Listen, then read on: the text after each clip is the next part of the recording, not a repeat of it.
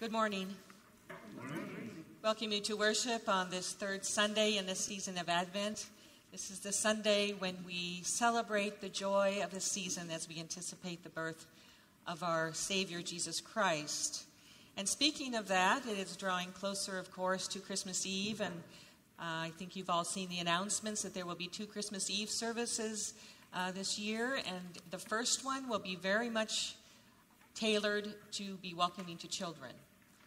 I hope to, it will be a fun time. I leave some uh, laughs, maybe. Will be a, a, little bit of an impromptu pageant, and the story will be told in rhyme, interspersed with some of our favorite carols. So I encourage you, if you encourage you, if you know families, to especially invite them. And then at 7:30 is our traditional service, uh, candlelight service, and uh, also please invite your friends to attend that.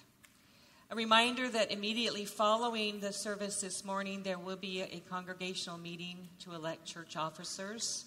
I'll remind you again at the close of the meeting about that. And are there another? There are another. There was another announcement.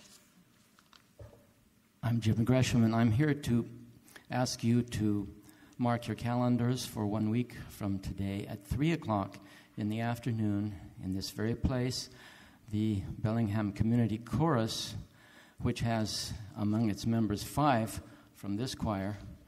Uh, they will be singing a wonderful Christmas concert of about 14 pieces. I think you'll enjoy it. It's free. There's food after. Um, so that's 3 o'clock, one week from today. Uh, remind the women of the church as well that the women's luncheon is this Tuesday. It's been it's early this month due to Christmas, and they will be having uh, sharing lunch together and enjoying a special guest, a storyteller. Let us now prepare our hearts and our minds to worship God.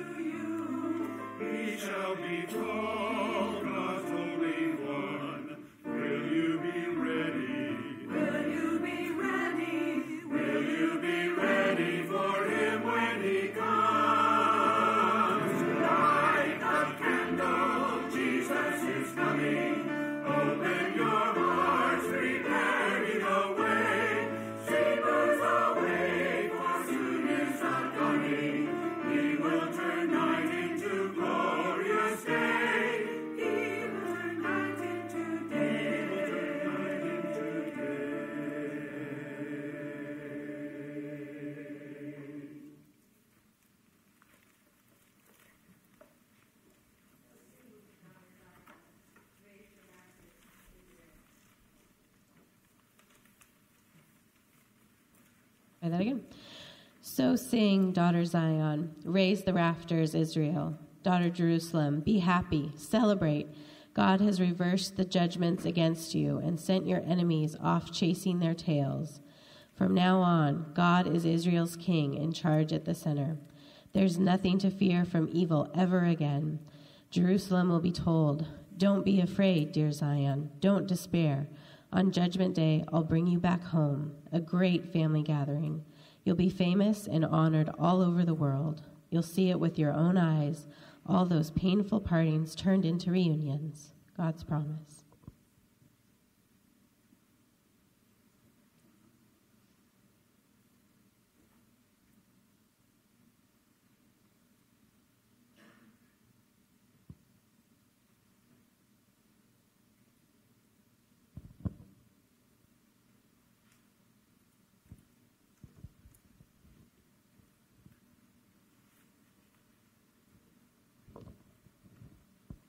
It's getting closer.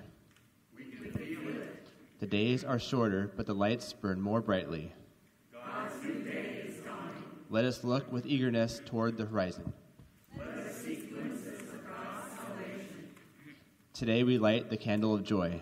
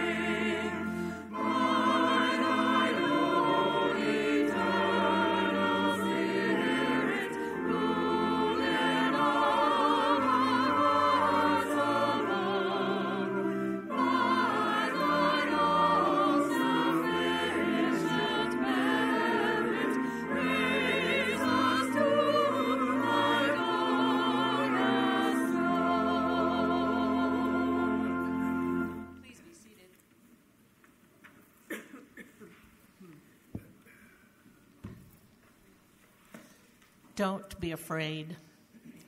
God does not turn away from us, but draws near. God does not hold what we have done against us, but takes away the judgments we fear.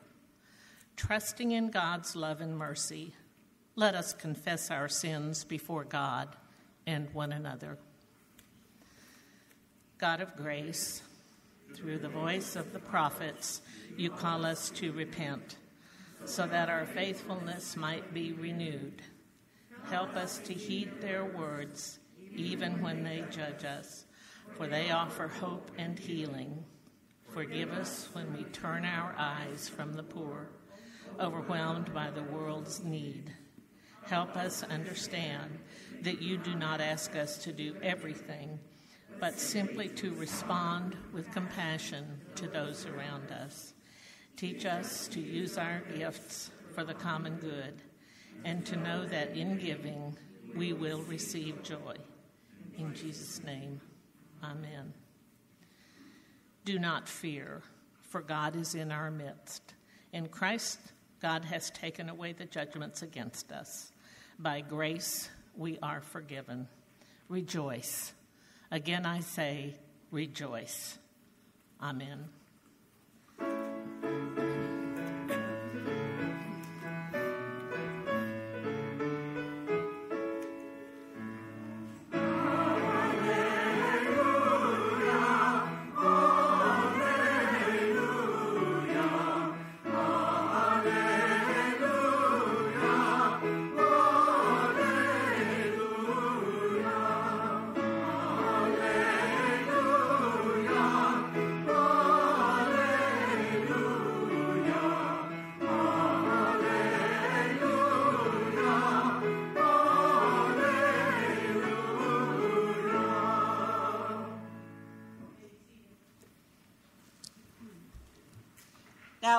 The song of blessing, I invite the children to come forward. The young and the young at heart are welcome to join me in the front.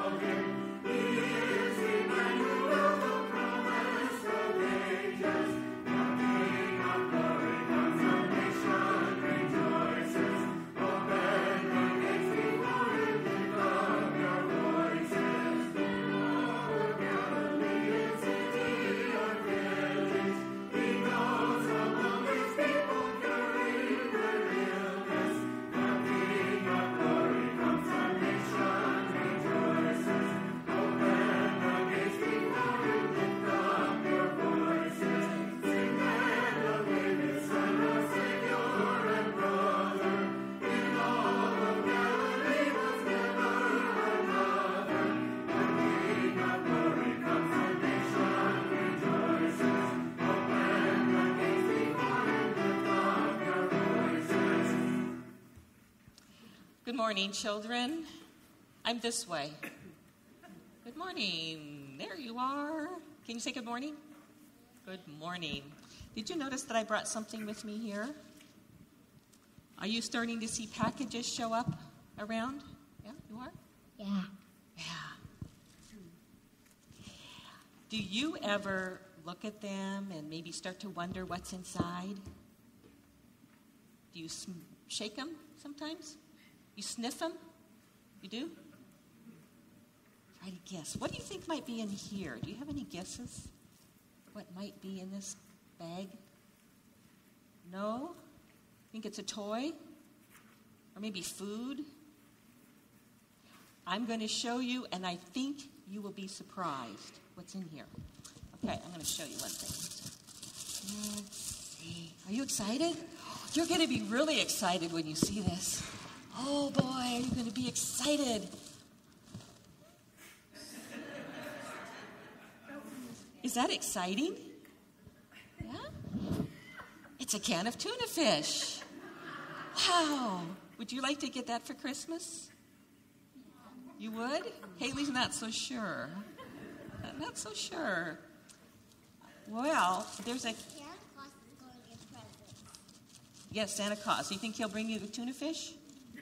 Okay, I brought you this because of the Bible. Santa Claus brings toys. Santa Claus brings toys, not tuna fish. Okay. The, in our Bible story today, there's a man named John the Baptist, and he's one that helps us get ready for Christmas because he helps us get ready for Jesus coming in the world.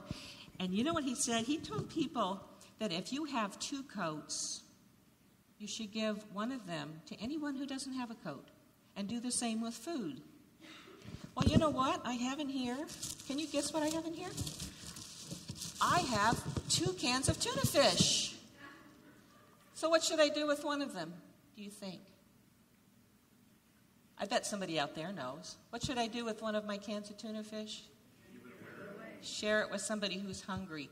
And you know, we just happen to have a place for things like this, don't we? Out in the narthex. There's a special basket. I will give you that can. And when you leave for class, you can put that in the basket. And you know what, Haley? I think I have more tuna fish at home. So what should I do with this can? Maybe you can put it in there. Okay, what else do I have in here? Um, I'll show you this first. This isn't just one present. This is a whole bunch of presents. Have you seen this out in the narthex? This is the giving catalog of the Presbyterian Church, and I bet you gave this to somebody last year. Did you give one of those to someone last year? What is that? What's that? What's that a picture of?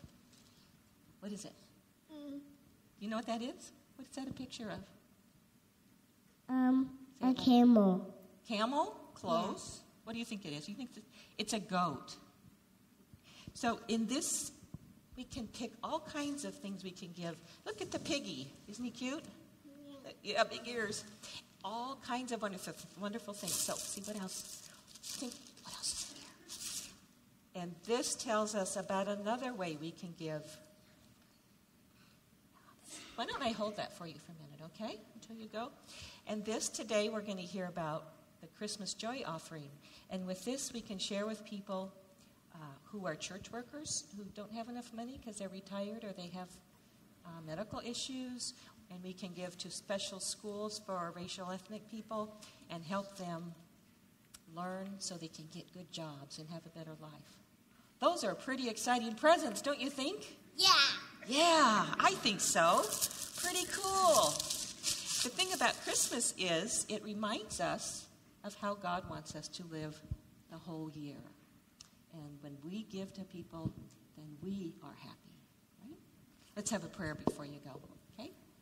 We thank you, God, for this season in which our hearts are opened and we and our hands outstretched to share with others what we have. And we pray that indeed the spirit of the season would stretch all year long.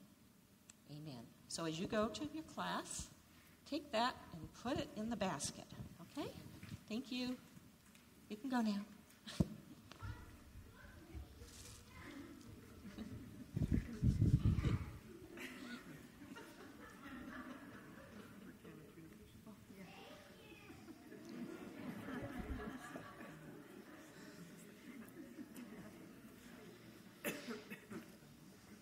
Let us not neglect to do good, but instead let us share what we have.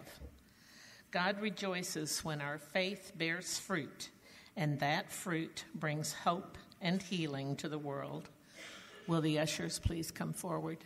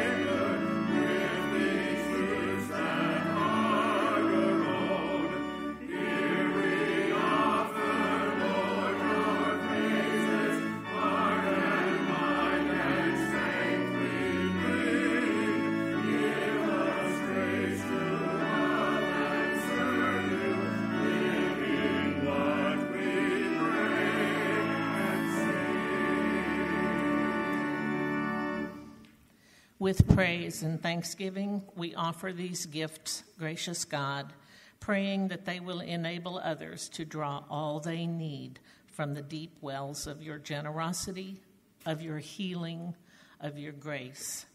This we ask in Jesus' name. Amen.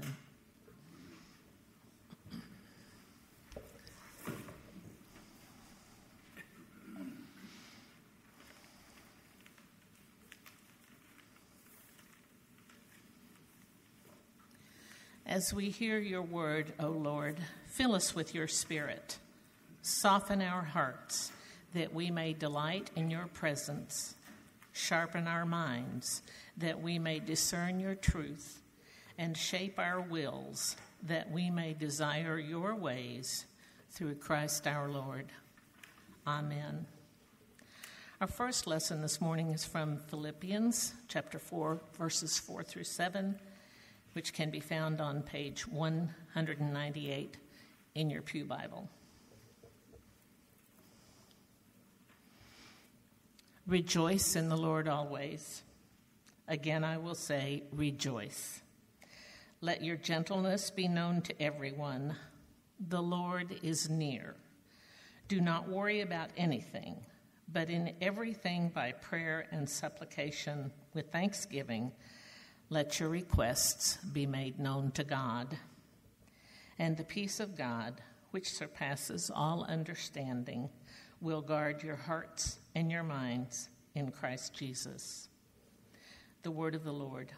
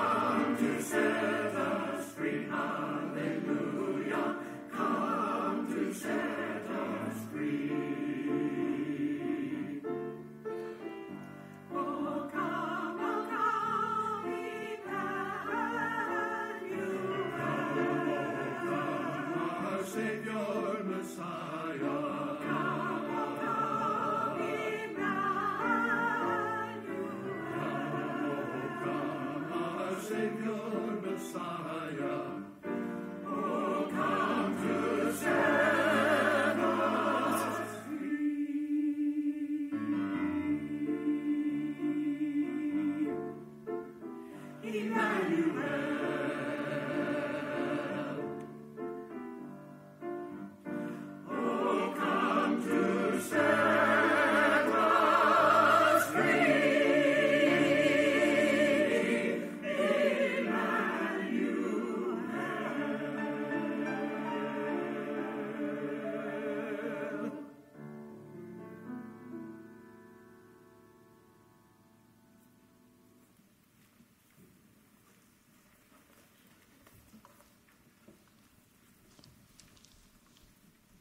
Our second reading this morning is from the Gospel of Luke in the third chapter, beginning at verse 7. This may be found on page 60 in the New Testament portion of your Pew Bible if you would like to read along. Last week we heard about John the Baptist who comes, the voice of one crying in the wilderness. Today we hear more of what that voice had to say. Listen now to God's word for us. John said to the crowd that came out to be baptized by him, You brood of vipers, who warned you to flee from the wrath to come? Bear fruits worthy of repentance.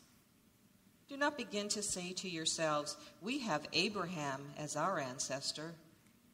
For I tell you, God is able from these stones to raise up children to Abraham. Even now, the axe is lying at the root of the trees. Every tree, therefore, that does not bear good fruit is cut down and thrown into the fire. And the crowds asked him, What then should we do? In reply, he said to them, Whoever has two coats must share with anyone who has none. And, with, and Whoever has food must do likewise. Even tax collectors came to be baptized, and they asked him, Teacher, what should we do? He said to them, Collect no more than the amount prescribed for you. Soldiers also asked him, And we, what should we do? He said to them, Do not extort money from anyone by threats or false accusation, and be satisfied with your wages. As the people were filled with expectation and all were questioning in their hearts concerning John whether he might be the Messiah, John answered all of them by saying, I baptize you with water, but one who is more powerful than I is coming. I am not worthy to untie the thong of his sandals. He will baptize you with the Holy Spirit and fire. His winnowing fork is in his hand to clear his threshing floor and to gather the wheat into his granary. But the chaff he will burn with unquenchable fire. So, with many other exhortations, he proclaimed the good news to the people. The Gospel of the Lord. Well, today we, lit, the, we lit the pink candle in our Advent wreath, interrupting the blue mood of this season. I'm sure many of you remember when the candles were a different color, the three. They were purple, right? A color that points to the royalty of Christ and also to the penitence called for in the season as we reflect on our, on our faithfulness in light of the approaching kingdom of God. In recent years, though, many churches have begun to use blue instead to represent the longing of this season. Deep blue, the color of the pre dawn sky, reminds us that God's reign is about to dawn in Jesus, and we look forward with longing to his arrival. Advent, then, is marked both by deep yearning and by profound joy as we anticipate Christ's coming into our world. And joy is represented by the pink of the candle this week. It's as if on this third Sunday the church says, Enough of penitence and longing. Let's be joyful at least for today. Today is for rejoicing as we draw closer to hearing again the tidings, the glad tidings of Christ's birth. We light the pink one and rejoice in the good news of the imminent advent of God's grace. Well, the theme of joy was sounded in the reading that was shared during a candle lighting from Zephaniah and also certainly in our reading from Philippians. But when we come to the gospel text today, we encounter a decidedly different mood. In Luke, we hear John's bombastic voice ringing out in the wilderness, calling those coming for baptism a bunch of snakes. That hardly inspires joy, does it? Next to the other readings today, the gospel text grates like a discordant note in an orchestra or like a voice in the choir purposely singing off pitch. Each time, each year around this time, Joyce, John's voice falls on our ears like a harsh and judgmental rant interrupting our holiday cheer. Try to imagine, if you can, John showing up at one of your holiday parties, for instance, uninvited, of course.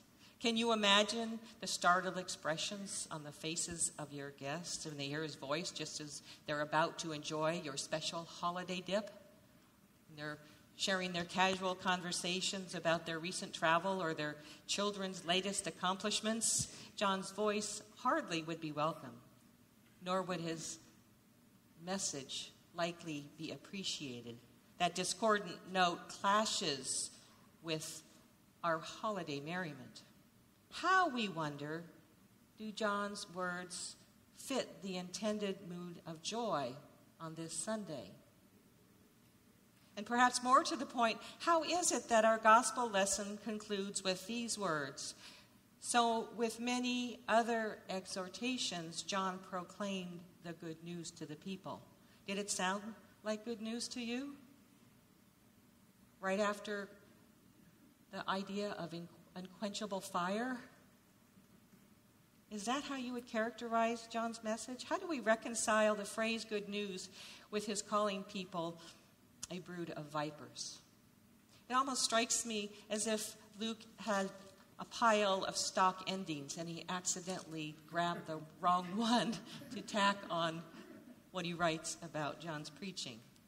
Well, to understand how John's message can be good news, I think it helps to know who was among those who came to him for baptism. They included tax collectors and soldiers. Now, tax collectors, many of you know, were among the most despised people in that time and place because they took advantage of the people for personal gain. The Romans left them free to collect whatever extra they wanted beyond the prescribed amount and keep it for themselves. But John says, stop collecting more than the prescribed amount. And he tells the soldiers in that crowd to stop extorting money by threats or false accusations and to be satisfied with their pay.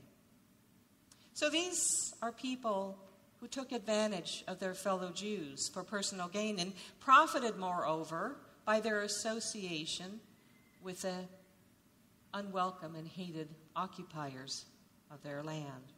Hardly anyone would have been more loathed than they. And hardly anybody would have expected redemption less.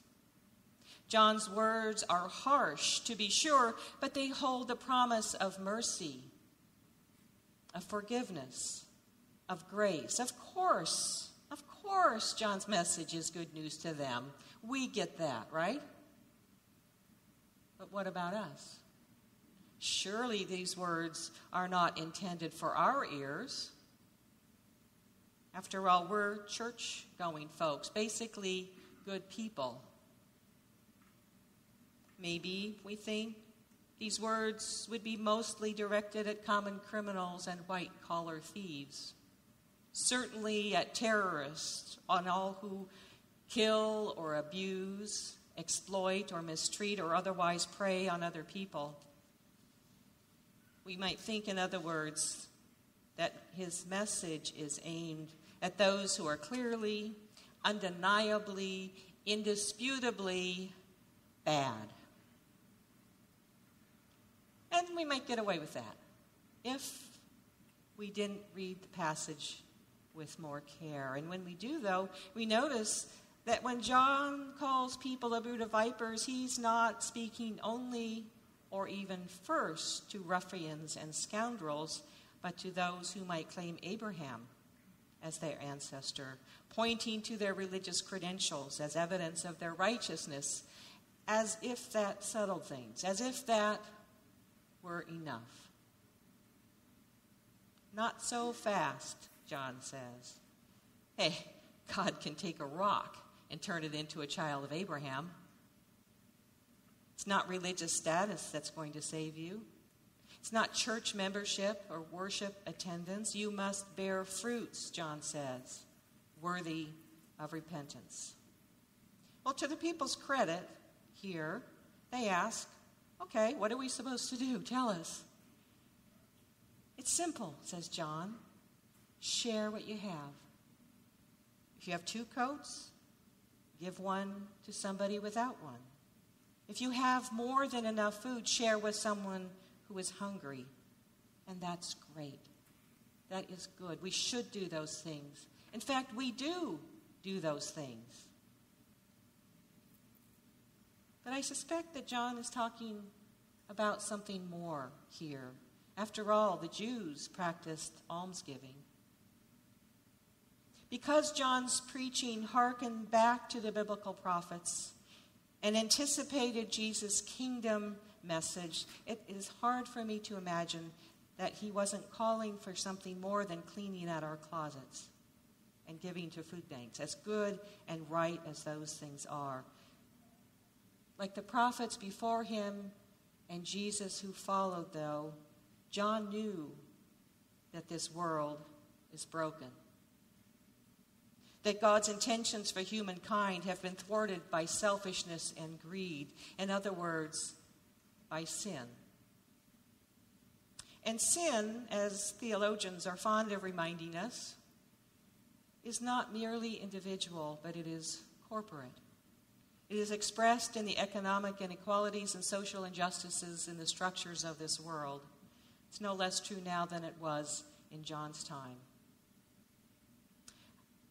I'm sure you've heard some of the statistics about economic inequality. A recent Forbes magazine article reported that America's 20th, 20 wealthiest people, a group that could fit comfortably in one single Gulfstream G650 luxury jet, whatever that is. I haven't been on one. they now own more wealth than the bottom half of the American population combined, a total of 152 million people. The wealthiest 100 households now own about as much wealth as the entire African American population of the United States. And the Forbes 400, with a combined worth of 2.34 trillion dollars own more wealth than the bottom 61% of the country combined, a staggering 194 million people. Do those statistics stun you? If they do, then consider this. They add that this is probably an underestimation of the concentration of wealth, since it is possible to hide assets in offshore tax havens and legal trusts. The growing outrage over the widening gap between the rich and poor in our country, I think, can easily overshadow the disparity among the nations. Which country is richest varies according to the list consulted and the measurements that are used, but clearly we are near the top of the list. No matter how disadvantaged we might feel compared to those on that metaphorical jet, most of us are way better off than most of the people in this world. And we know, of course, we know that our standard of living is a, re- a result of our disproportionate use and consumption of the world's resources. And unless we change the way we live, the way we consume, the rest of God's people will never share equally in the abundance of God's gifts. I am a real downer, aren't I? you might not want me around any more than John at this point. But here's the thing, people. Here's the thing. The gospel is bad news before it is good news, as one of my favorite authors, Frederick Buechner, has said. The gospel points out our faults and our foibles, what the old preachers called sin, in order to call us to newness, to call us to true righteousness. Now, our sins are not nearly as outrageous as those of many people. Certainly not as much as the tax collectors and soldiers or those we so easily label bad. Ours tend to be more subtle, so much so that we may not even recognize them. One of the mistakes that we make in this season, wrote biblical scholar Elizabeth Achtemeier, is thinking that we are immune from Advent's judgment. That the faith or the goodness or importance or status we brought into the service this morning with us is sufficient to guarantee the approval of our lives in God's eyes. But as she notes, God does not tend probably to see us as we see ourselves. And even we recognize that Christ coming into our world casts a different light on our living. And realize that there is something wrong, something terribly wrong in our world and in our personal lives. Our pride keeps getting in the way of our concern for other people, for one thing, she says. Our love for our comfort and the status quo undermines our zeal for justice, for another thing. Our wish not to be interrupted in our accustomed pursuits defeats our care for the outside world. And the Advent season is when we repent and we confess that those things are so. Consciously or not, we are shaped by the values of this world. And those values teach us to put self first to use whatever power we have to our own advantage, to rationalize our choices because pretty much everyone else does the same thing. And since our faults are shared by most of the people we know, they don't exclude us from anybody's company or ostracize us even here. And so we can bring them with us comfortably into church and carry them out again just as easily with nothing changed. We are not changed. And then, then we miss our chance for grace. We fail to hear the good news addressed to us because that news is bad before it is good, and we haven't heard any bad news aimed our way. We haven't absorbed the message that we are not as we should be, but that doesn't mean that we cannot change. We can repent, which, as I've said before, doesn't just mean feeling sorry, but means turning around, acting differently, living differently, so that our lives bear fruit of repentance. Now, I'm not going to presume to tell you what that fruit might be for you, although John provides some pretty good hints. Instead, I invite you, as I invite myself, I'm part of this too, to look again at the gospel in this season and to reflect on what change might be called for in our lives in order that we might become more just, more generous, more faithful. And then we will ourselves become good news for this world. Amen. Please stand as we join together in this morning's affirmation of faith.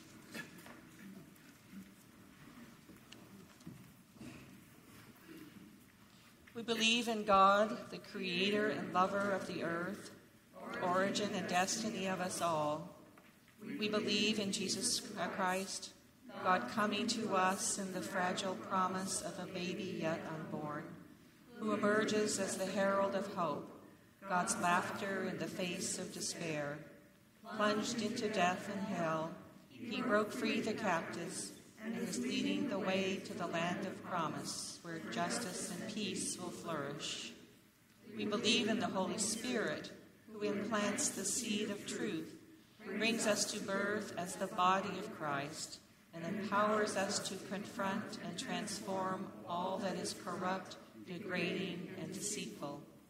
We believe in the coming reign of God, announced by the Baptist, it has drawn near to us in Jesus and will be consummated in the glorious marriage of earth and heaven, when all who have passed through the world's deep sorrow will be raised from the waters, robed in righteousness, and gathered into the joyous fulfillment of God's desire. For the coming of that day, on this day, we work and pray. Come, Lord Jesus, come. Our hymn this morning, sermon hymn, is number 96 in Glory to God on Jordan's Bank, the Baptist Cry.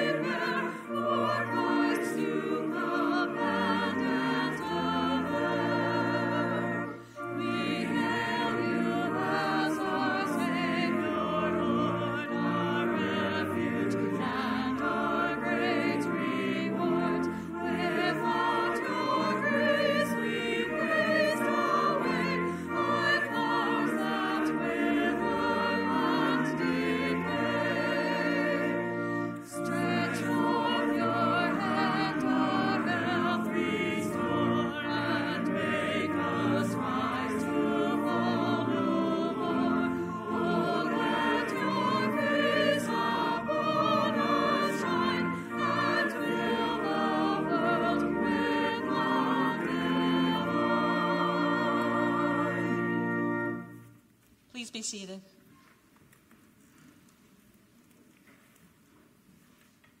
Let us come before God now with our prayers of petition. Let us pray. Holy, loving, and righteous God, we give you thanks for the joy and the wonder of this season. And we ask that you would help us see beyond the glitter and the glitz to discern once again the meaning of Christ's coming into our world and to have our eyes and hearts open for glimpses of the dawn of your redeeming grace. We do indeed pray that we would be open to your transforming power, that our lives would become more just and compassionate Help us be willing to open our eyes to the hurt and the needs of this world and to be moved toward compassion for others and to be willing to work for justice and peace that all people might realize the dawn of your kingdom. We pray for this world, O oh God, in this time when there seems to be so much darkness how much, God, we need your light to dawn. We pray for the victims of violence of so many kinds. We pray for the wisdom of our leaders to find solutions to that violence. We pray for people streaming out of war torn countries that they would find a place of welcome and refuge. We pray for those who open their doors to receive them, that you would empower them and uplift them in that mission of mercy.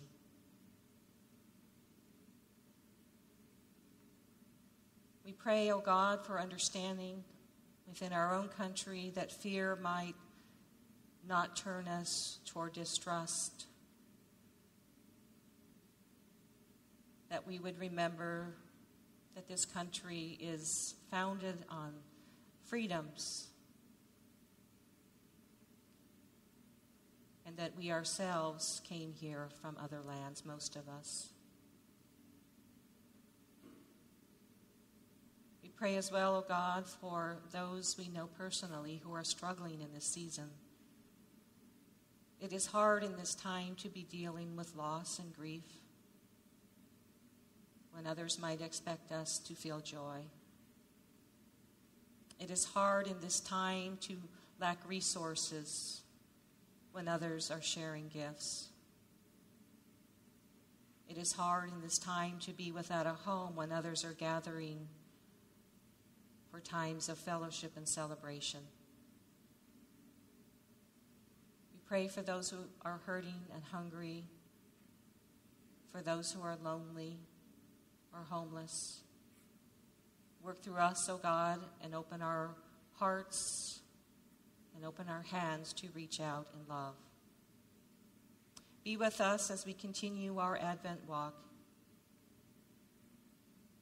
Soften our hearts and broaden our minds and enter us, O God, anew, that we may indeed become good news to your world. We pray these things in the name of our Lord and Savior Jesus Christ, and now together say the prayer he taught us to say Our Father, who art in heaven, hallowed be thy name. Thy kingdom come, thy will be done, on earth as it is in heaven. Give us this day our daily bread. Forgive us our debts, as we forgive our debtors. And lead us not into temptation, but deliver us from evil. For thine is the kingdom, and the power, and the glory forever. Amen. Please stand for our closing hymn, number 100. My soul cries out with a joyful shout.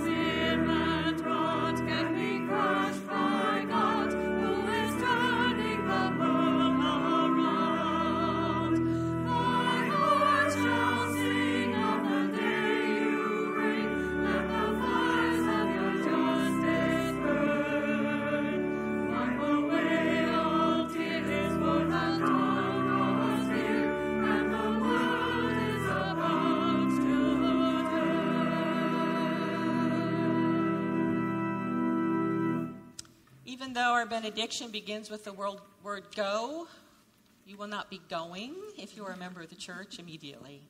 I remind you that there will be a congregational meeting. Um, so if you happen to be a visitor who wandered in here this morning, you're welcome to stay and observe the workings of the church. It only take about probably five minutes or less. Or you may uh, choose to go and enjoy coffee, but I hope you'll stay so we may have the opportunity to greet you.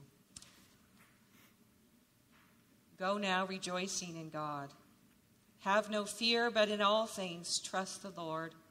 Bear fruits worthy of repentance, sharing what you have and showing compassion to all, and may God rejoice over you with gladness. May Christ renew you in love, and may the Spirit guide you as you walk in the ways of faithfulness. May the peace of Christ be with you. And also with you. Let us share signs of God's peace.